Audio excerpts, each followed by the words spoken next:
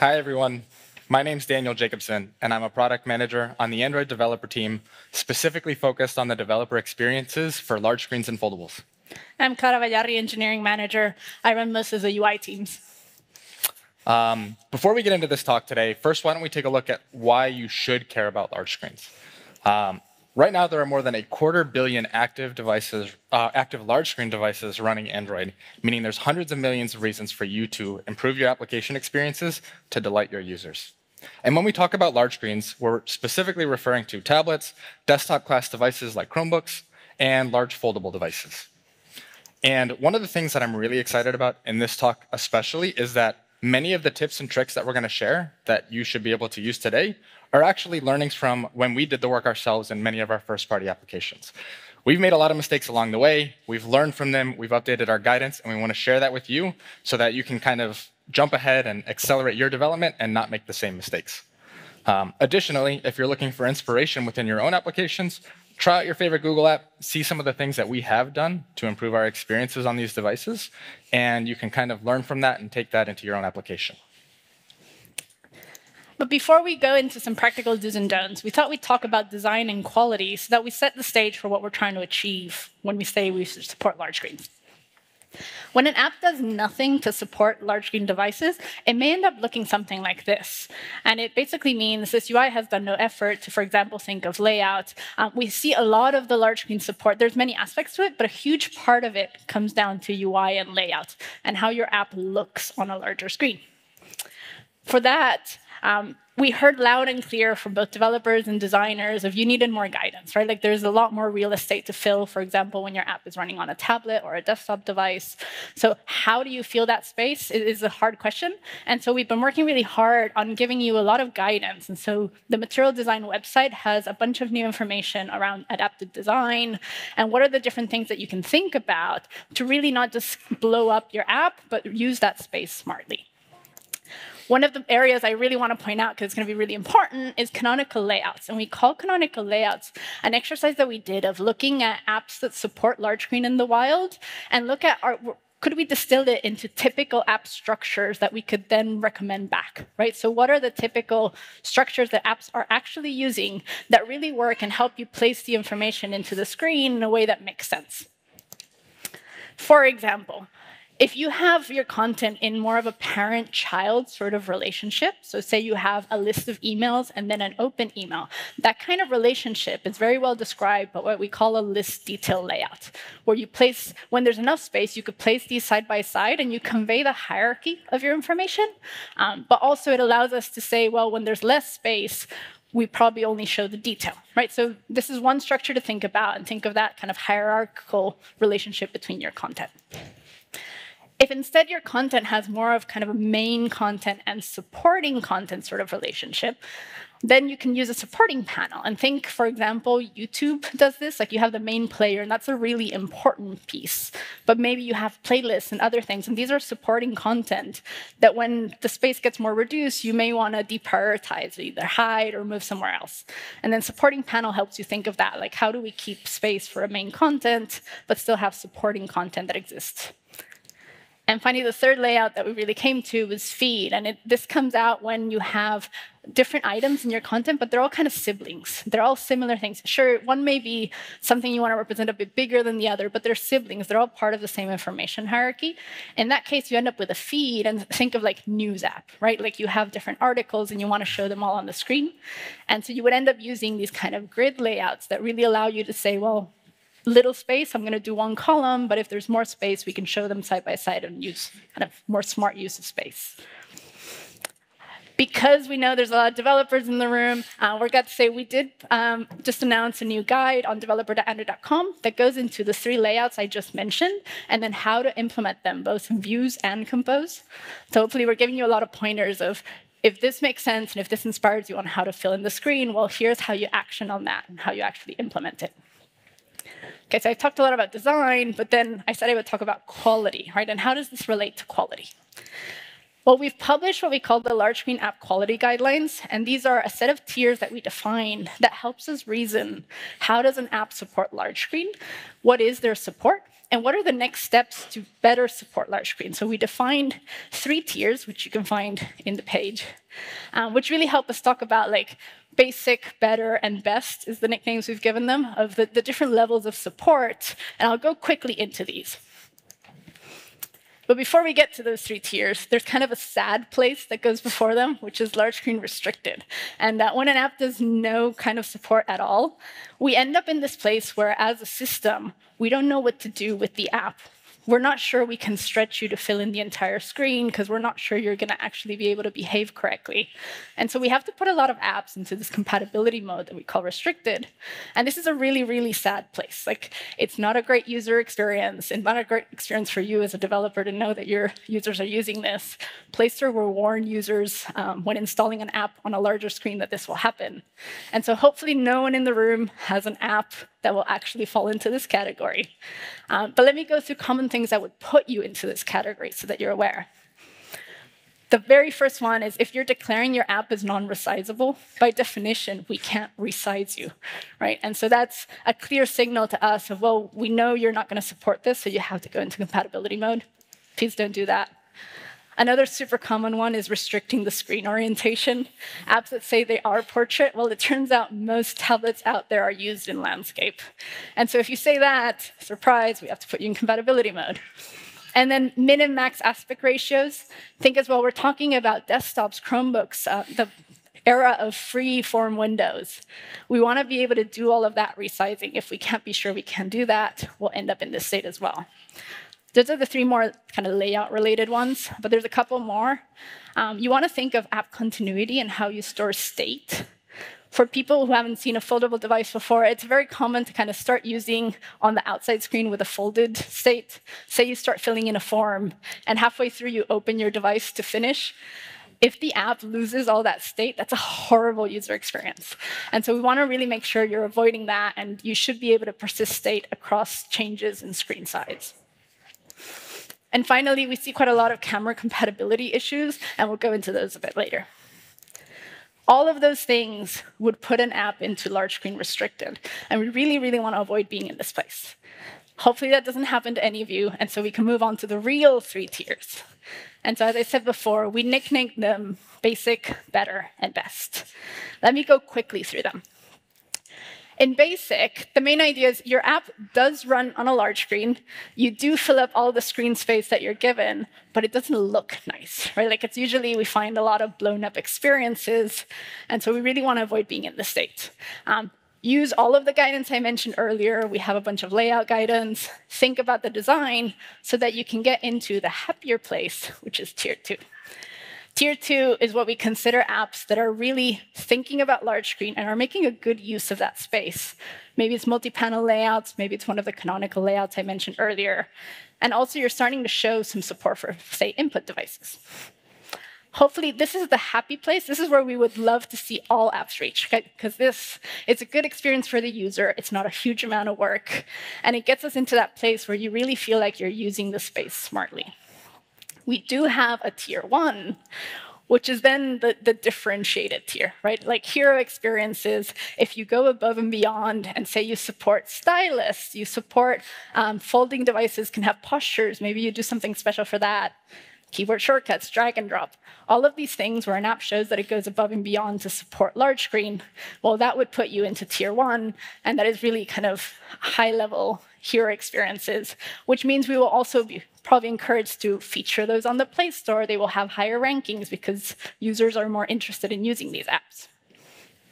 We do have a dedicated talk that goes much deeper in the tiers because I've just kind of glanced through it. Um, so please check out the specific talk on that if you want to know, uh, or check back the developer.android.com page I mentioned earlier that has all of the detail. Cool. With that, let's get into the practical tips that hopefully you can take away and start applying to your applications right away. Starting with reachability. As Clara mentioned, uh, most tablets or larger screen devices are often used in landscape, and so the way a user holds the device, interacts with the device, interacts with the UI of your application is going to be different than on a typical phone device. And that means some of the common placements of UI elements may be more difficult to reach, causing them to have to adjust their grip, take their hand off, just have less comfort using the experience generally. One example of this, and, and why we often show like the nav rail versus bottom nav bar example, is thinking about the navigation of your application. If we overlay the reachability chart, you can see some of the more center-focused navigational elements are pretty hard to reach, meaning that the user is probably going to need to take their hand off or adjust the way they're holding the device to actually reach those elements. And these are very commonly used things. Like users are going to navigate around their app, it's going to be something they're going to do frequently. So when we recommend the nav rail, we're doing so because hey, generally these are much more reachable. If I do need to adjust my grip to reach the higher to reach ones, I maybe need to move my hand slightly up rather than completely taking it off of the tablet to actually touch those navigational buttons. And this provides generally a better experience.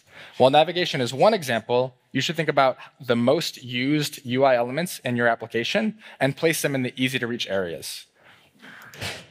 Um, Take a look at the next talk for more information about just general large screen design principles and philosophy so that you can build a great and uh, you can design and build a great UI experience for all devices and displays.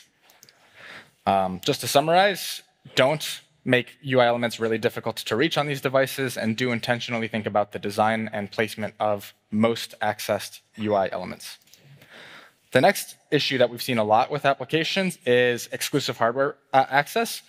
Beginning in Android 12L and above, all applications will run in multi-window mode. And a lot of applications uh, assume, hey, if I'm portrait only, if I'm unresizable, I'm going to be the only application on, on the display at any given time, meaning I don't have to worry about this. That's no longer true. And so this is an example of applications handling it okay. You have two different camera applications. When you tap on one, it uh, requests access to the camera, it actually uses it, and the other one gracefully loses access to the camera without crashing. Many of the issues we saw were application crashes, so definitely make sure that you're handling exclusive hardware resources uh, gracefully. Um, the, the do here is check for access before actually using it. Fail gracefully if you do randomly lose access to it.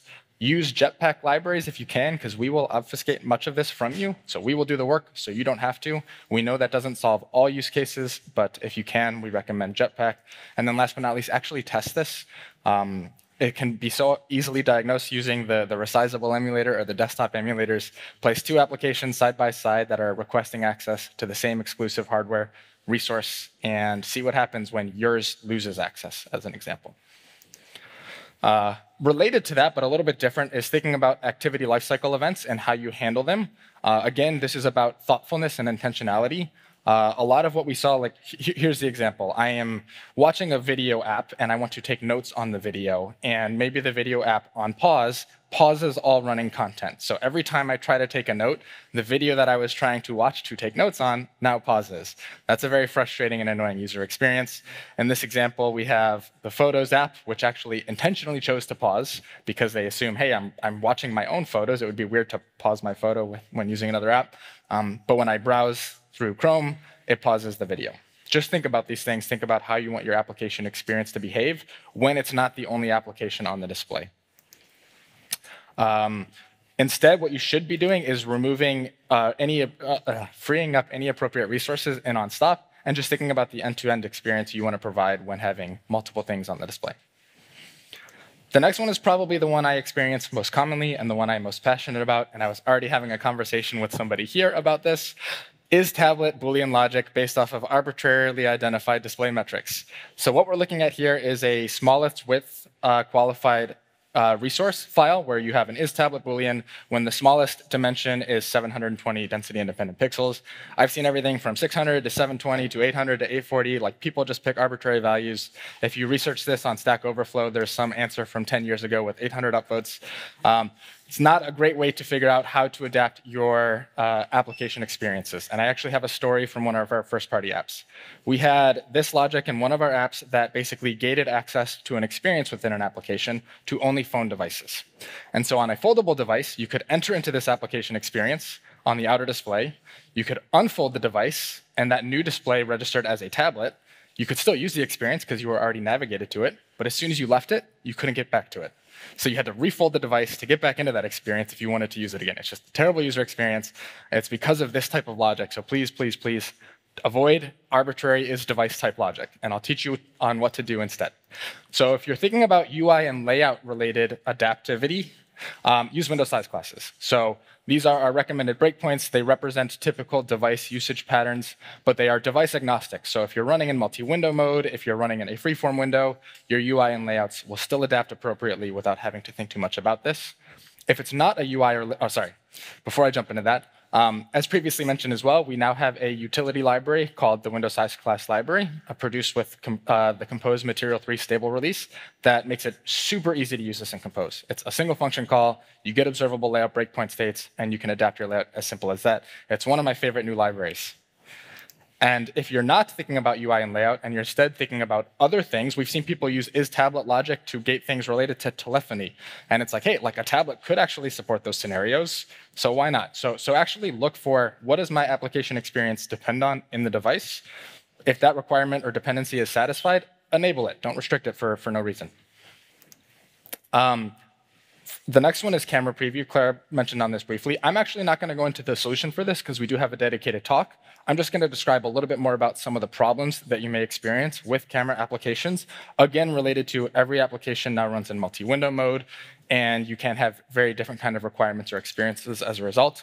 And that comes down to alignment of different types of orientation. So every device has a natural orientation. Most phones, it's portrait. Most desktops, it's landscape. Some tablets, it can vary but you have to align the display orientation with the natural orientation of the device with the sensor orientation. And these things can get out of alignment depending on the device your application is running on. You'll learn a lot more about how to solve that in the, the related talk. But one easy tip, use CameraX. Like I mentioned, if, we're, if you're using Jetpack libraries, we will do a lot of this for you. If you have requirements beyond what is supported in CameraX, you'll learn a lot more on how to fix these in the subsequent talk. Another common problem we see is related to insets, and we call insets the relationship between an edge-to-edge app and the system UI. Think things like the notch, uh, gesture nav, or the new taskbar that was introduced in 12L. All of these things cause insets to change within your app, and you want to be able to handle those gracefully. When you don't handle these, uh, especially if you don't handle them dynamically, you can find that things like the new taskbar from 12L that comes from the bottom may include very important parts of your app. For example, if you're using bottom navigation and suddenly the taskbar comes up and you're not reacting to those insets, you're losing a huge part of functionality of your app. So you want to make sure that you are handling insets dynamically so that you can react and resize. To do that, we have the window insets listener APIs. These provide you callbacks every time the insets change. So make sure you are using those instead of just assuming that the first value you get is what you'll get the entire runtime of the app. And make sure you're then updating. Say you're updating your margins to move content appropriately and fixing those. The next one we see a lot is apps that are clearly not tested on large screens. Um, for example, blown up layouts. Um, or we see a lot of broken behavior in multi-window. And all of these can be easily solved by using a bunch of the tools that we mentioned in the tools talk. Um, so I highly recommend, if you haven't seen that, you go back to the tools talk. As a quick tip, definitely use Resizable Emulator because it allows you to test your app in different screen sizes really quickly. It allows you to test multi-window as well, like you can launch into multi-window and make sure that your app is behaving correctly. And use reference devices while you're developing because it allows you really quickly to see how your app looks on different reference devices, which cover most of the ecosystem. Um, so highly recommend that. Otherwise, go look for the talk for more. And finally, to leave you with a good one, how many times have you assumed that all of your users are using touch? Well, that's not necessarily true. We have a huge fleet of Chromebook devices that can run your app. There will be a lot of users using keyboard or mouse or trackpad to interact with your app. Also, accessibility users, maybe interacting with your app with different accessibility devices. And so it's really important to make sure that you are supporting all of these inputs and not just assuming that people are going to touch your screen. For that, we have a dedicated talk that goes extremely in-depth on this, uh, the key to keyboard and mouse support across tablets and Chrome OS. Highly recommend if your app has any of these issues, you look into all of that detail. Um, but obviously, the, the do and don't is don't assume there's only touch input and support keyboard, mouse, and trackpad. Okay, that was a lot of tips and information in 20 minutes. Um, I hope some of it sunk in. Uh, thank you so much.